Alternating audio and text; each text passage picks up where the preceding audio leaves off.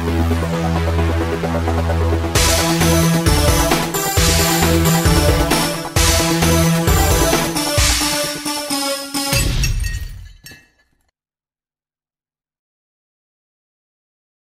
Hey everybody, Rod Fitzwell back here at uh, the Norfolk Scope for another episode of Two Minutes in the Penalty Box. And today I have with me Mark Barberio of your Norfolk Admirals. Mark, how are you? Good. How are you? Doing fantastic. Uh, well, this is how this is going to work. I'm going to put two minutes on the clock.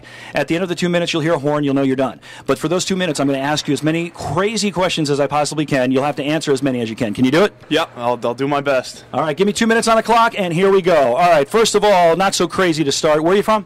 Montreal, Quebec. How long have you been playing hockey? Uh, since I was five years old. Do you have a girlfriend? No.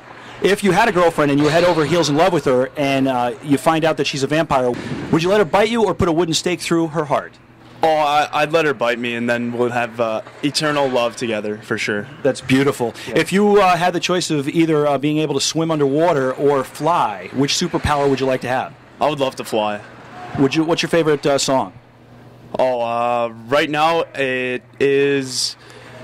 Oh, geez. Um, Fancy by Drake. Drake's Fan- Canadian. I, I love Drake.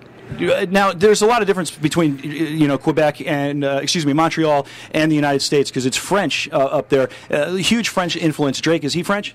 Uh, no, I don't believe so. No. He, he's from Toronto. He's, he's English. He's English, but you love him. Oh, yeah. He, he used to star on a TV show called Degrassi, and uh, he, he's made it pretty big from, uh, from where he started. Does he get any airplay down here? Do you know?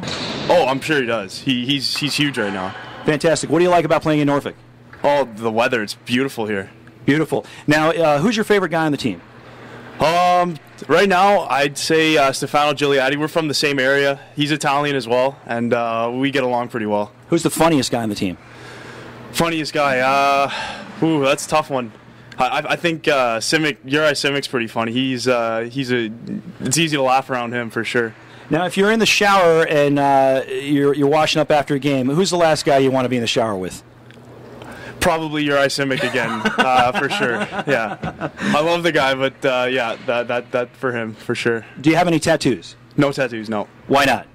Uh, I'm just not sure if I'll regret it when I'm uh, 60 or 70, but uh, I'm, I haven't decided for sure if I'm going to get one or not. Uh, you know, I have three, and I already regret them. Hey, uh, strip clubs. Ever been to a strip club? Yes. Yes. You ever date a stripper? No. Are you? s- Oh. All right. Cool. Thanks, man. All right. Awesome. That was Have a good one. Thanks.